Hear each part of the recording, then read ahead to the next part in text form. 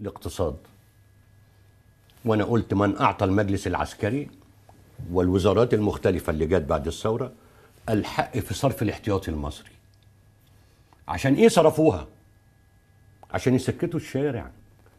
وزودوا عبء الدولة.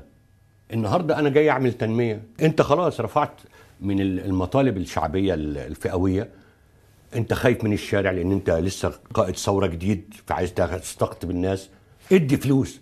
طب هدفعها منين؟ آخرها دلوقتي من شهر فات أو اللي قبليه رئيس مرسي والحكومة اللي تبعه قالوا نزود المعاشات.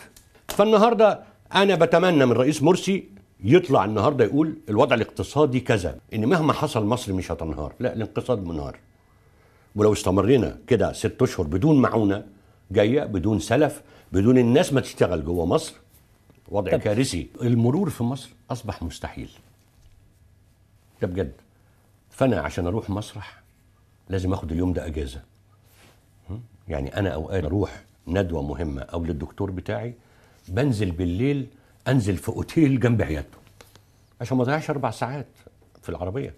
وأربع ساعات وأنا راجع وأتعصب. يجب عدم التسرع في إصدار القرارات. ويجب الشفافية. خليكوا هاديين. قولوا القضية دي ما درسناهاش. ما حددناش هنعمل إيه في الموضوع الفلاني. موقفنا من الفن إيه؟